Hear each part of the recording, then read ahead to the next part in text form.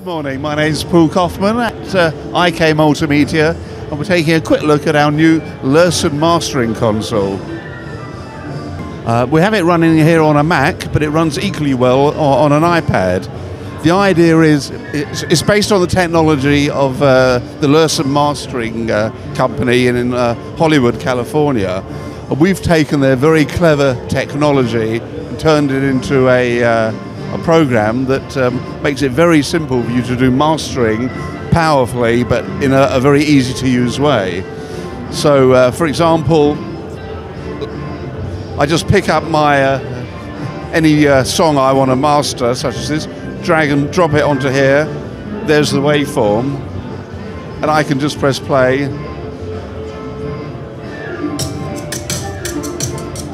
And there's our track playing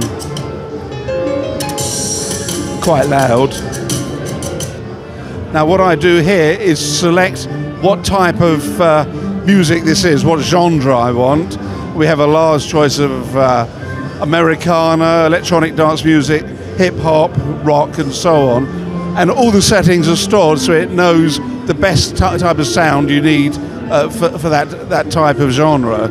So if we choose, let's say, hip hop,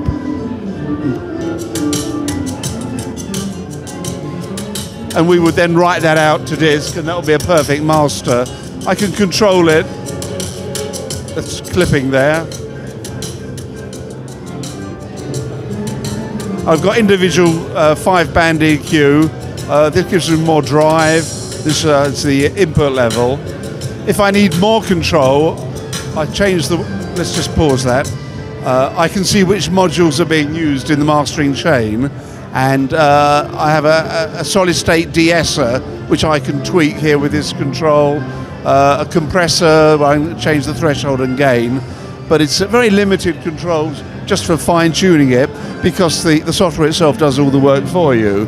Uh, unlike other mastering packages where you really need a lot of knowledge to be able to uh, use it. Uh, once it's finished, you can export it uh, and you're ready to burn to CD or publish it online.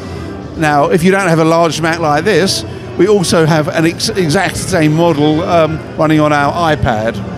Now we're looking at the uh, iOS version of the Lurssen Mastering Console. As you see, it's identical to the version we saw on the Mac. You have all the same controls, you have the same mastering chain, it does everything the same way. And uh, you can export your tracks back it's file compatible with the uh, Mac and PC version. So uh, either way, you've got a powerful mastering system. Um, that, that, covers the, uh, the, the, basics of, of the product. Um, obviously, on the Mac, it's available through uh, the uh, iTunes App Store, or uh, for the Mac and PC version, visit our website at ikmultimedia.com. My name's Paul Kaufman. This has been Lurssen Mastering Console at uh, Musikmesse 2016. Have a good day.